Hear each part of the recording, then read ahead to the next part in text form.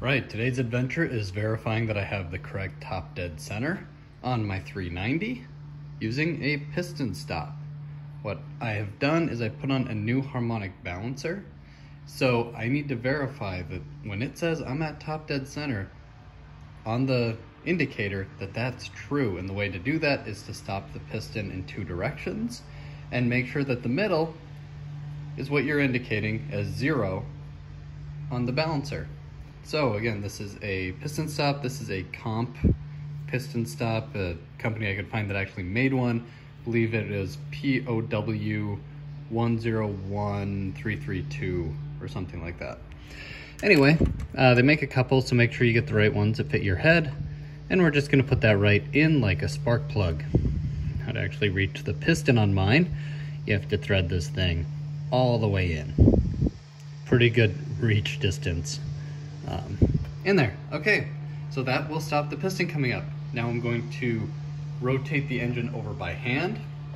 if you can see that, I put masking tape on the balancer.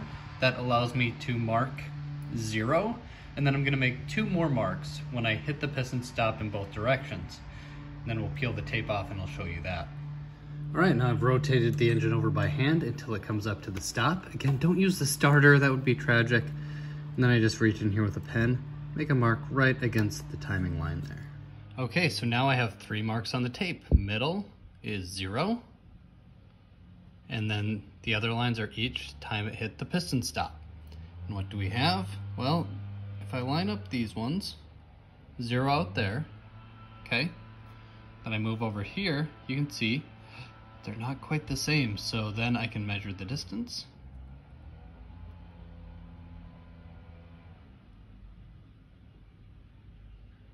0.375 and we'll get an amount of degrees out of that. Okay, now everybody's favorite part, math time. so again, um, this was off by, well, it was longer on one side by 0.0375. So we have to take that over two because as we move this, one side gets shorter, one side gets longer. So we're really off by 0.01875, which is not much, but let's find exactly. So we know we have a seven and a half inch balancer, multiply that times pi to get our circumference, 23.5619, divide that by 360 degrees, and we have 0.0654 inches per degree. So as you move around that balancer, every 0.654 inches, you're moving one degree of rotation. So then we take our inaccuracy, 0.01875, over 0.0654 inches per degree, and we can see we are off by just over a quarter of a degree, which is not enough to really see when you're timing the thing. So I can say that my balancer and timing mark are accurate. Time to pull out the piston stop and put a spark plug back in the hole.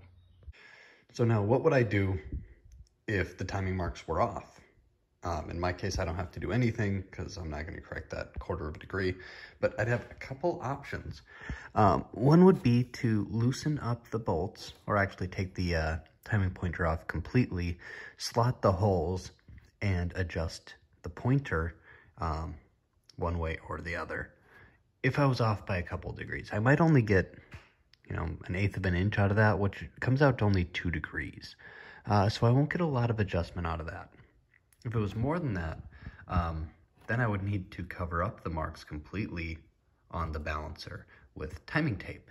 And I would put that tape at true zero and use that to time it.